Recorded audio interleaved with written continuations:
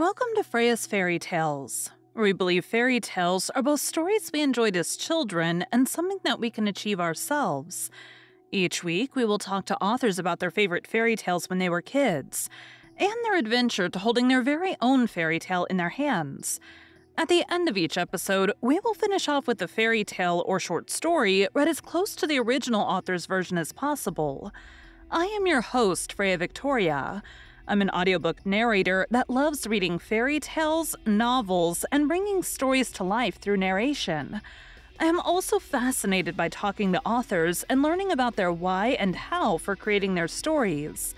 We have included all of the links for today's author and our show in the show notes. Be sure to check out our website and sign up for our newsletter for the latest on the podcast. Today is part one of two, where we are talking to Ty Carlson about his novels. Over the next two weeks, you will hear about writing in middle school and developing his writing as he got older, researching the querying process, strategizing with other authors to get your pitch out there, listening to and implementing the advice of others, learning how to promote your books on social media, and his favorite advice to write even if you don't feel like it. The Shadowless. The Everstorm is merciless the people who live beneath it are even worse. The Earth has become a wasteland as a result of humanity's mistreatment. The sky has been dark for as long as anyone can remember, covered in an infinite rolling mass called the Everstorm.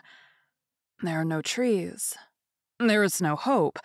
Unless, of course, you're one of the privileged who live in the protected cities beneath the domes. In these cities, there are trees parks full of vibrant grass, and even waterfalls, all thanks to the solar energy harvested by those who have no choice but to brave the Everstorm. Shipley Bowden is a lowlife, working his way into the good graces of the citizens, hoping one day to be allowed a living space beneath the protective dome. But when he stumbles upon an orphaned girl in the ruins of the past, he decides to deliver her to the nearest settlement and be done with it. When Shipley runs afoul of violent marauders who call themselves the Red Kings, he must draw upon all the knowledge he's gained. Only now, he has a little girl to think about. So, the podcast is Freya's Fairy Tales, and that is fairy tales in two ways. Fairy tales are something that we either watched or read or had read to us when we were little. Um, also, the journey for you to spend weeks, months, or years working on your book to hold that in your hands is going to be a fairy tale for you. So, the first question I like to start off with What was your favorite fairy tale or short story when you were a kid? And did your favorite change as you got older? Yeah, so I loved reading when I was little, and we and we had a lot of books. My my parents were really they really encouraged us to read. Um, mm-hmm. Um, and they would limit kind of what we read. I didn't read any Stephen King until I was an adult, but that's um, probably good. which which was good. I I mean I love it. But uh, my favorite fairy tale I think was either um, Puss in Boots or The Emperor's New Clothes. I got a kick out of Emperor's New Clothes, and I know it's come more like a morality story, but um, Hansel and Gretel, Gretel was always a winner. Um, mm-hmm. We got the toned down version where they weren't really eaten at the end; um, they just kind of disappeared so that was that was fun but um, as a as a high schooler i got a complete works of grimm's fairy tales mm-hmm. and that was eye-opening to see all of and read all of the the actual stories of like how they originally kind of were and, and mm-hmm. more of a terror horror version of what i had known growing up so right. that was really fun but emperor's new clothes is kind of the one that i i always like go back to as what what do I remember in my childhood reading kind of over and over? It was like, oh man, what an idiot! That guy thought he had clothes on. Ha ha. and so, at what age did you start writing your own stuff, whether that be short stories or actual novels? Yeah, so I read. I started reading or, or writing. Um, my first like little story was was third grade. I wrote about um, four other siblings that I had. It was called Quintuplets in the Family.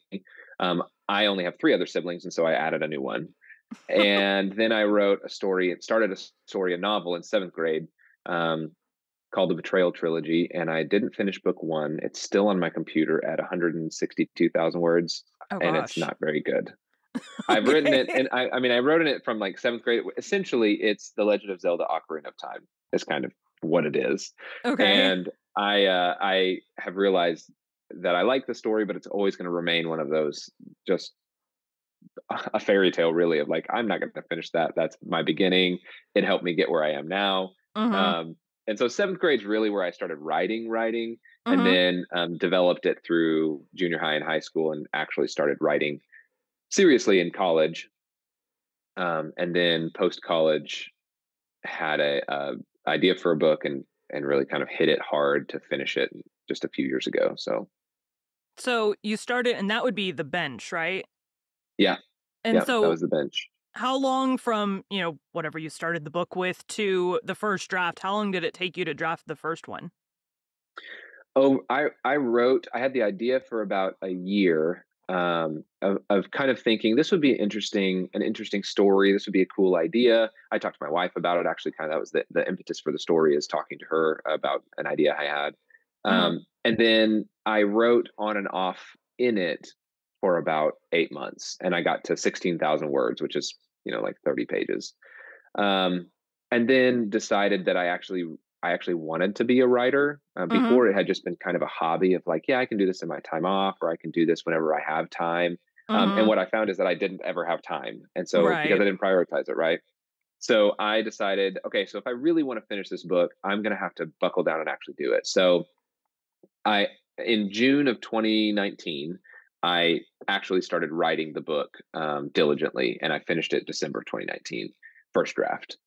I spent 2020 going back through it and um, editing and, and making sure that the story made sense and and not editing in the sense of this doesn't belong i'm going to take it out this doesn't belong i'm going to take it out but editing in the sense of this needs to be a little bit more robust this needs more explanation this doesn't make Mhm. sense so let's adjust it um, i rewrote the first chapter a couple of times um, and so 2020 was was all of that and by the end of 2020 i had um, i had what is now known as the bench or mostly and um, and spent the first part of 2021 um, querying and trying to look into uh, what it, what would look like to get published. So it took about from from inception to completion about two and a half years for me to finish the first one. Okay. And so that and that included like self edits and stuff like that too, though. Yeah. So about yeah, seven yeah, a months. couple rounds. Seven months for first draft, and then it sounds like the next thing you did was heavy developmental type Yeah. editing. yeah. Yep. That's I never thought because I'm such a wordy individual when I talk, I never thought I would be an underwriter. but Yeah. I added like 10 to 20,000 words in my first Yeah. edit and I was like, wow. See, I'm I'm so glad that you said that because I went from 63,000 words to 81,000 words in my first edit. My first edit was Mhm. not add not taking hardly anything out. It was adding a lot of content. And then my second edit, I added 30,000 words, which I also rewrote as part of the story, but um it ended up it's almost double the size of my first draft simply because I added background and relevant information, you know. So Mhm. um, but Stephen King was like that too. He claims that in his book. He adds stuff all the time. Mhm. so well, we're not alone. was so I started my first book that is not the one that's about to come out for me. Um, but I started my thir- first bu- book, got about 30,000 words in, and then I'm like, I paused for like seven months working on, I also narrate audiobooks. So I was working on like narrating and prepping Awesome. other people's audiobooks. Uh-huh. And so at the beginning of this year, 2020, whatever year we're in, 2023, I went back to the beginning and was like, we're going to spend the time, we're going to focus. And I was like, 10 Yeah. minutes a day. I can get everybody else's stuff done and focus on my book for 10 minutes a day. That's easy time to carve out. And I went back to the beginning of it and was like, this is all dialogue. like, there's there's no internal dialogue to this. I'm like, this is gonna take a lot of rewriting. Yes. oh, and that that So was the point where I realized that I was a severe underwriter. so now, yeah. the book that's about to come out for me, I made sure to focus on you need to add the inner dialogue as I was writing it. So it wasn't as bad, but I know whenever I go back to that first book, it's Yeah. gonna be a lot of adding stuff in. Yeah. The struggle for me is realizing like I'm a big ideas person, like, oh, wouldn't this be a cool plot?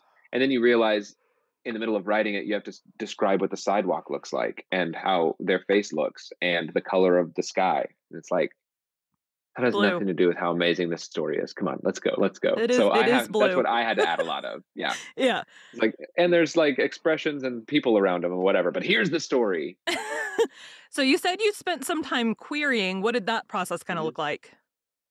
Oh, that was hard.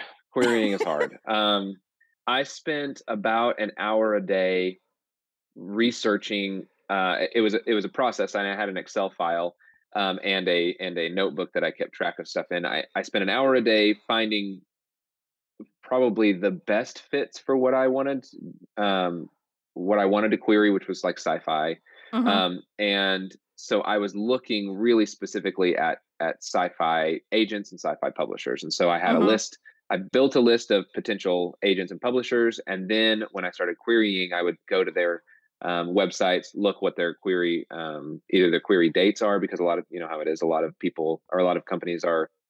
You can query between these times or these months, um, mm-hmm. or I'm opening I'm opening queries up in three months. So I would make notes of those and keep track of it, and then I would get their template for what those that their query needs to look like because all of them are different. What do I need right. to include? Cover letter, yes, no, that kind of thing. And then I would make a list of all their requirements, and then I would go. Um, after that was complete, I would just go down the list, and I started with just the A's that I wanted to do, and then the B's and the C's, uh-huh. and would query. And it took I sent out um, 78, 78 total queries, which is not very much compared to a lot. Right. So, did you actually end up getting signed? I did, but not from any query. I um, I had I had uh, five partial requests, two full requests, and um, and no acceptances, which I knew that it was going to be very difficult to get into this. But mm-hmm. um, back when X was Twitter, there was a. Uh, I still call it Twitter, but you know. uh, me too. I know. um, there was a con- not a contest, but there was like every quarter there was something called PitMad, and it was mm-hmm. where mm-hmm. um, you could pitch your book in in one tweet, you know, 240 characters, and if an agent or a publisher liked it, then that was essentially them requesting your your manuscript or at least a partial request. Mm-hmm. So um, I did that three times, um, and it was the the middle of 2020, the end of 2020, and the beginning of 2020. Uh, yeah, beginning of 2021, March. And um, the first two attempts, I got a couple of likes and nothing came out of that. And then I, I actually went to Reddit and I requested some help and I posted my pitch and I got a lot of feedback and some of it was really hard. And I totally revamped my my process. And so um, then I kind of got a little bit more serious about it and I, I downloaded a TweetDeck, which doesn't exist anymore for Mac, um, where you can schedule out your tweets and I scheduled out my tweets for this is what my pitch is going to be like at 8 a.m. This is what my pitch is going to be like at 11 a.m. Mm-hmm. And I would adjust it a little bit. And I, I rallied a lot, not not me. I rallied with a lot of, a lot of other authors and um, did a lot of retweets, did a lot of shares, did a lot of a lot of comments, and so we kind of built this community on on uh, this these PitMad events where I was just retweeting hundreds and hundreds of these, and people were retweeting hundreds of mine, and um, I got uh, like twelve likes, and um, out of those, I got three agents and two publishers, and to uh, do pull requests. And then my publisher that I ended up signing with was Four Horsemen Publications, and they did a full request and then um, offered me a contract a few weeks later. They when when I got on the call with them, they were before the contract. They really wanted um, they were excited about what I was writing, but but they felt like it could be stronger, and so they asked if I would consider rewriting the first chapter for me it was rewriting it again right. um, and i i was like i mean if it can be better yeah of course i'll rewrite rewrite it right. um, and they were really wonderful about we think that your writing is fantastic which of course was nice to hear but um, they said you know we think it could be better because the way that you have it started is kind of a trope it, it doesn't seem very believable whenever you get into the story we really love the story but the, the beginning is a little bit rough and uh-huh. so I said, yeah, absolutely. If you, if you think it could be better like that, I'm not so attached to my writing or um, so naive to think that my writing is perfect right now. So they said, okay, uh-huh. great. So rewrite it, submit it again, and let us know. Um, and I took a week to rewrite that first chapter. Um, totally revamped it, and it became um, and the, that chapter became what is now the bench's first chapter. And they offered me a contract after that. And and after I was after I signed with them, and the contract is is really great, and I, it's a five year contract. Um, I talked to them, and and they said, you know, it's it was so nice and and encouraging that you were willing to um, to rewrite the first chapter because there were some authors that we've requested that with, and they said absolutely not. And mm-hmm. I I couldn't understand that because if I thought someone came to me and said we like your writing, but but it could be stronger, I would definitely want an outsider's perspective to be able to be more um, hold a little bit more weight than mine. Of right. course, I think my writing is good. I if I didn't think it was good, I wouldn't submit it. Right. But, um, I know it's not perfect, so to have them say that was really encouraging for me because I want to make sure that I'm I'm still developing as a writer and as an mm-hmm. author. Um, and having someone else say it's good, but it could be better, just affirmed that, you know. Right. That's that's so weird. So I just had an author, well, more specifically, I was terrified to have beta readers read my book. Mm-hmm. and so yeah. I got beta readers on TikTok and there was like five of them that actually went through my book and like four of them well the prompt that I gave all of them was basically I wanted them to developmental edit kind of cuz I yeah. had done my edits um, but I was like I need an outsider's perspective of like hey this doesn't make sense it m- makes yeah. sense to me cuz I wrote it but right. it may not make sense to other people so that yeah. was like the prompt I gave them, and four of them followed that prompt, and then one of them completely destroyed my book. completely destroyed it in a good way, though. In yeah. a good way. Yeah. In a very helpful, like, you don't need to say this because it's implied. You don't need to do this because, like, you've already said it 15 times in the previous three paragraphs and stuff like that. So, um, that same beta reader tagged me in another author looking for beta readers and was like, you can ask Freya you know, about me as a beta reader. And so my message to that author was long. But in that message, I was like, listen, you need other feedback and you need to set your ego aside because yeah. they're not there to hate on you. They're not there to be mean. They are there because they want to help you make your be- your book the best that it can be. And yeah. you need to set your ego aside because if you're going to think like I'm the best writer ever, you're not no one is. so, yeah. Like, you need to set your ego aside. But I was like, this particular beta reader, I'm like, she will tear your book apart, but she will then help you put it back together if you ask her for help. Yeah. If, if you just want to take her feedback and implement it and be done with it, that's fine too. But, you know, if, you know, if you give a suggestion, if a beta reader gave me a suggestion, sometimes it wasn't quite clear, like, well, what, how do I fix that? so, right. just having right. the, you know, mind to allow the feedback because if they are volunteering to help you and spend all this time with you, they want to make it better. And clearly, with like a publisher, their goal obviously is to sell copies. So they want to make it yeah. as best as they can to sell the copies. Exactly. It's exactly it. If they're if you're not willing to accept that you're you're very imperfect and your writing is is not not good in some spots, um, you're you're not going to be successful. That's just kind of the bottom line. And that's something that I, I really try to internalize is that I know that I can write and I know I can write well, but I, I may not be able to write well all the time or about mm-hmm. everything. And so to have someone else come in and be able to say, my editor is really wonderful. And she, a lot of times she'd be like, this is, I get the idea of this, but it doesn't make sense.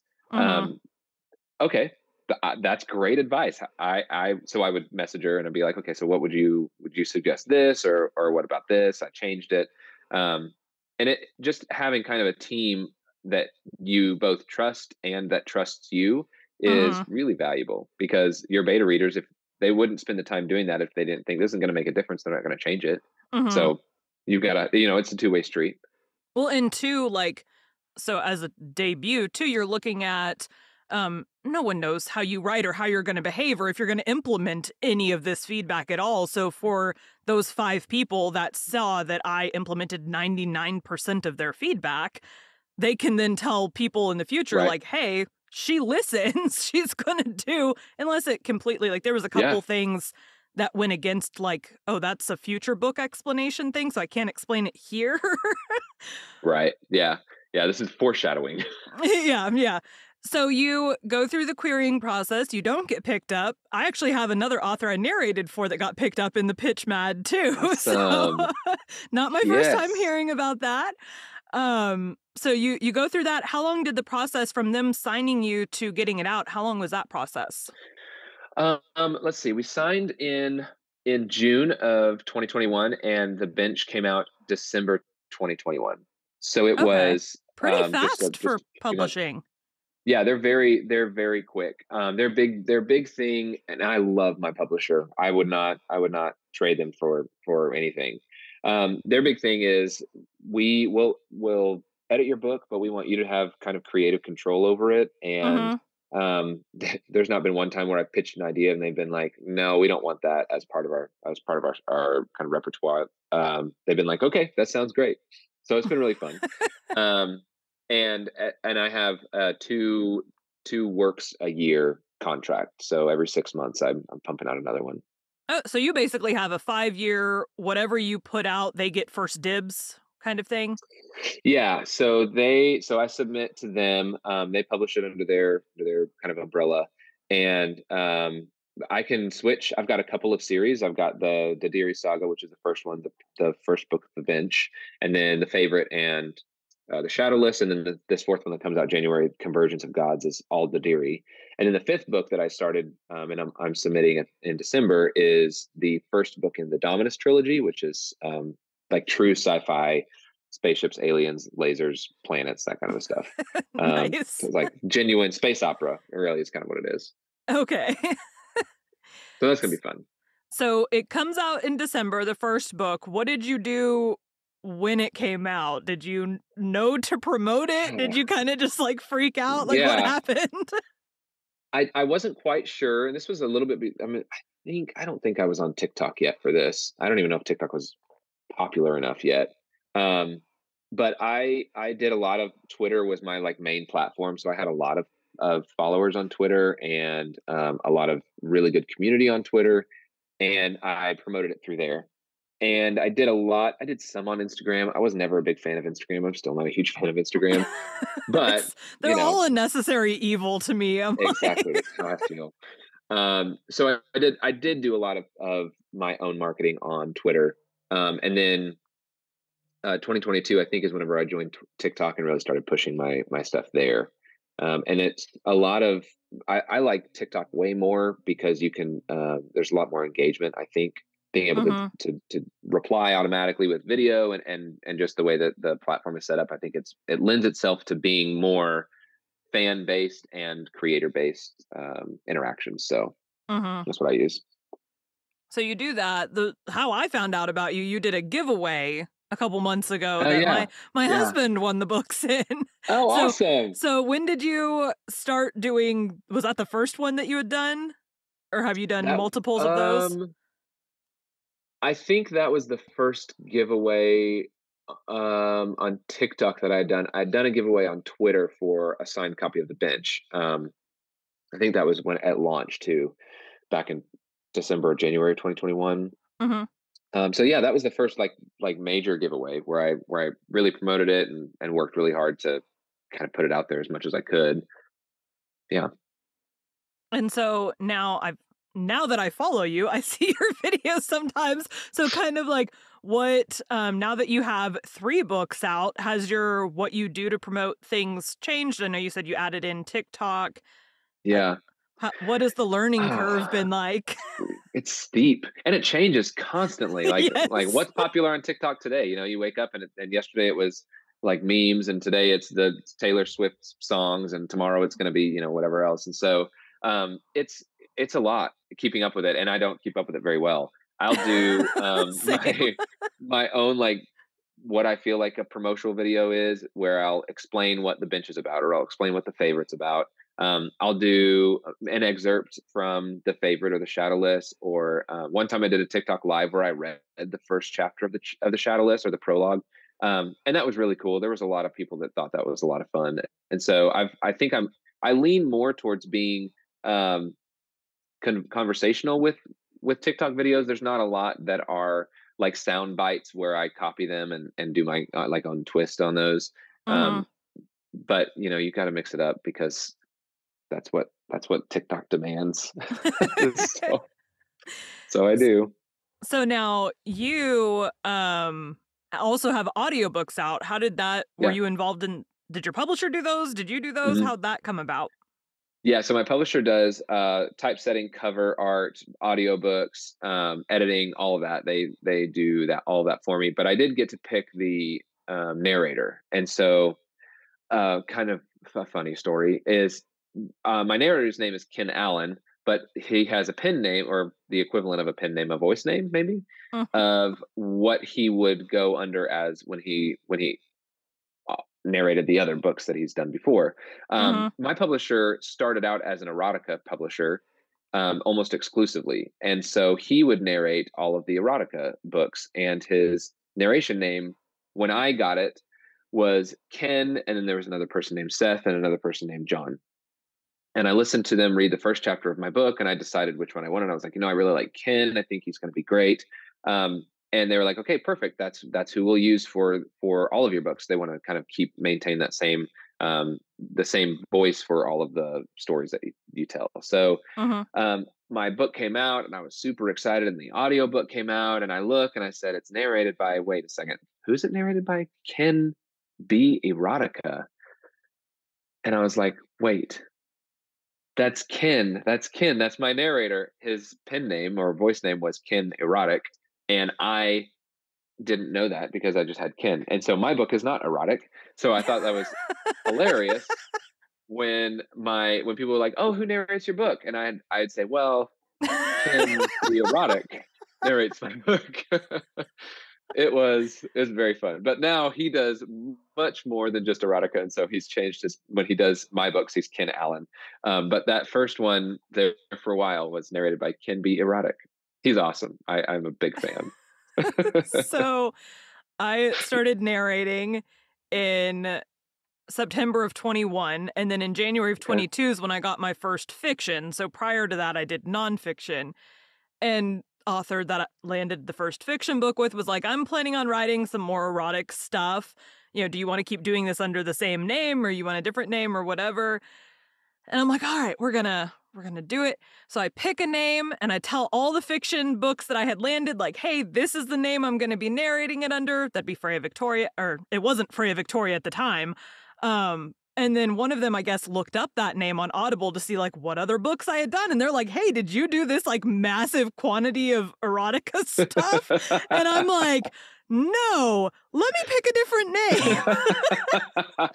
so I ended up with Freya Victoria, which works great. That's the name that I've been promoting myself under for yes. a long time now. Two years now? Almost, because I started it in like January of 22. So we're coming up on two years wow. under That's Freya. Awesome. Um, because the other name that I used, I still do if I ever land a nonfiction, which I haven't in a very long time, I would still do it under the nonfiction name. Yeah. Same with like children's books or things that don't want to be grouped in with the spicier fantasy and romance books I've done. Yeah. Um, but yeah, so it's, it's, funny that you said that because a lot of narrators, I think typically I see them call it a pseudonym instead of a there pen name. Yes. Um, but yeah, we'll use different names for like different genres. Same as authors. Authors do the same yeah. thing. Yeah. So my you author, said. My, Go ahead. My publisher said if I wanted to write erotica, I would need to change my name, and I said, "Well, I don't have any plans on that, so we'll just we'll talk that bridge later." You're like, maybe not. I get embarrassed when I write the one sex scene in the bench. I I don't think I can write erotica. I, I'm much too I'm much too shy about it. I was a little bit scared for the first book that is about to come out. I was like, I don't know. Like, I have no problem with spicy books or writing spice. No problem with any of that at all. Um, yeah. but my brother-in-law was one of my beta readers. and so Excellent. I was like, maybe I don't want him to read that. So I was like really, really scared. And then like my characters kind of took over it and ended up being a super, super slow burn book. But for his copy, before it gets to the spice, the, there's like two chapters of spice in the whole book. And so and they're at the very very end so i had like a like star star warning there are sex scenes past this point. Like if you continue yes. reading that's on you. Yep. So, yeah he he said he basically just skimmed those sections yeah which is fine you'll yeah. get feedback from other people it's fine. exactly exactly yeah. yeah and mine like yours it was for me it was the first six chapters were the roughest that needed the most rewriting And then after that, even my editor didn't have a lot to say after the first yeah. six chapters. you kind of hit the groove and then things just yep. kind of fall into place. Yeah, I get yep. it. Ty liked Puss in Boots growing up. Today we'll be reading Charles Perrault's version.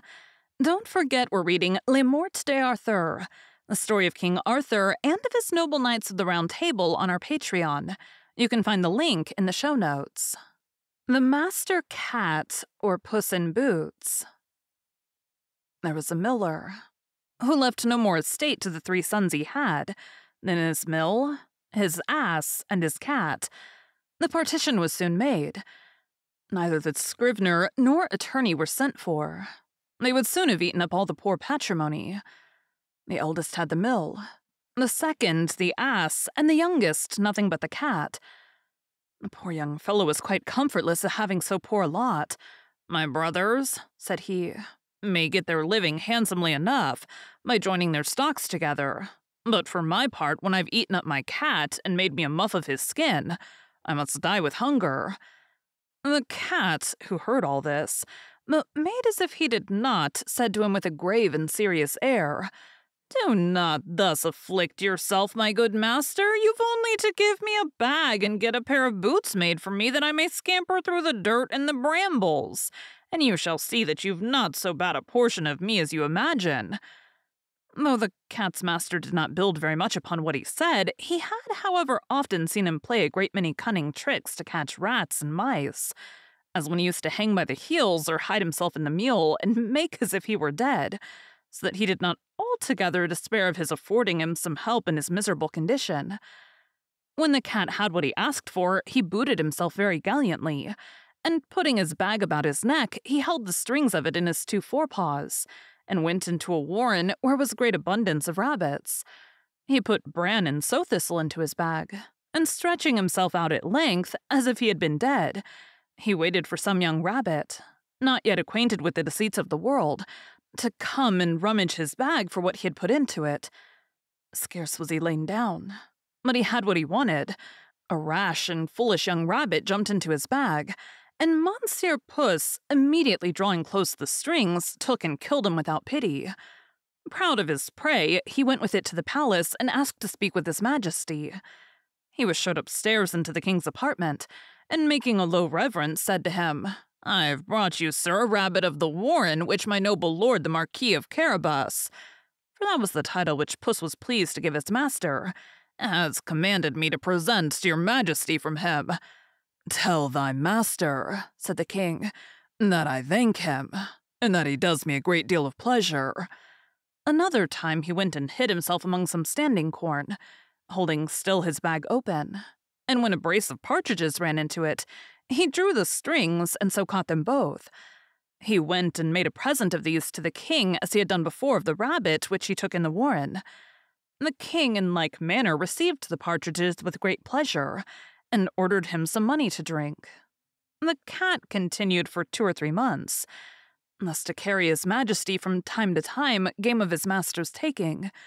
One day in particular, when he knew for certain that the king was to take the air, along the river side with his daughter, the most beautiful princess in the world, he said to his master, If you will follow my advice, your fortune is made. You have nothing else to do but go and wash yourself in the river, in that part I shall show you and leave the rest to me. The Marquis of Carabas did what the cat advised him to, without knowing why or wherefore. While he was washing, the king passed by, and the cat began to cry out as loud as he could, Help, help! My lord Marquis of Carabas is drowning! At this, the king put his head out of his coach window, and finding it was the cat who had so often brought him such good game, he commanded his guards to run immediately to the assistance of his lordship, the Marquis of Carabas. While they were drawing the poor Marquis out of the river, the cat came up to the coach and told the king that while his master was washing, there came by some rogues who went off with his clothes, though he had cried out, Thieves, thieves, several times as loud as he could. This cunning cat had hidden them under a great stone the king immediately commanded the officers of his wardrobe to run and fetch one of his best suits for the Lord Marquis of Carabas. The king received him with great kindness, and as the fine clothes he had given him extremely set off his good mien, for he was well made and very handsome in his person. The king's daughter took a secret inclination to him, and the Marquis of Carabas had no sooner cast two or three respectful and somewhat tender glances, but she fell in love with him to distraction. The king would needs have him come into his coach and take part of the airing.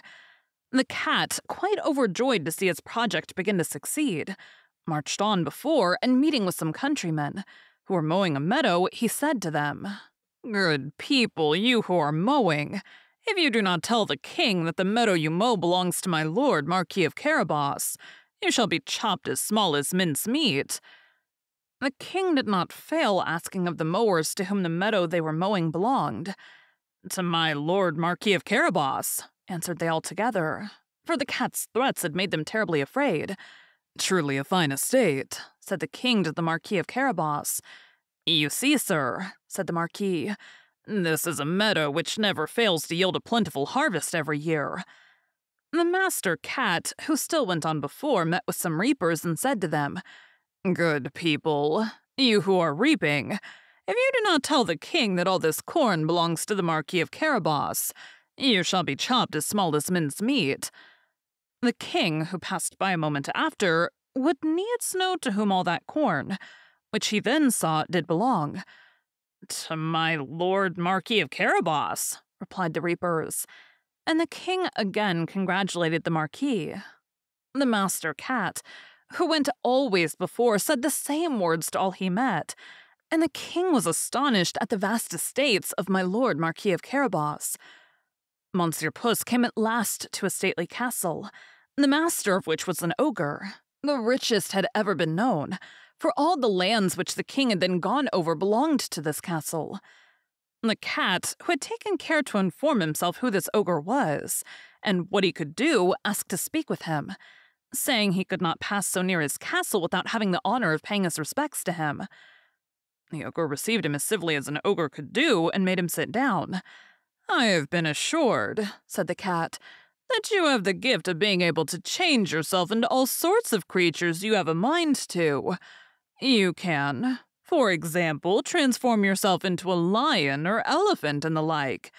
This is true, answered the ogre very briskly, and to convince you, you shall see me now become a lion. Puss was so sadly terrified at the sight of a lion so near him that he immediately got into the gutter not without abundance of trouble and danger because of his boots, which were ill suited for walking upon the tiles. A little while after, when Puss saw that the ogre had resumed his natural form, he came down and owned he had been very much frightened. I have been moreover informed, said the cat, but I know not how to believe it, that you have also the power to take on you the shape of the smallest animals. For example, to change yourself into a rat or a mouse. But I must own to you, I take this to be impossible. Impossible? cried the ogre. You shall see that presently. And at the same time changed into a mouse and began to run about the floor. Puss no sooner perceived this, but he fell upon him and ate him up.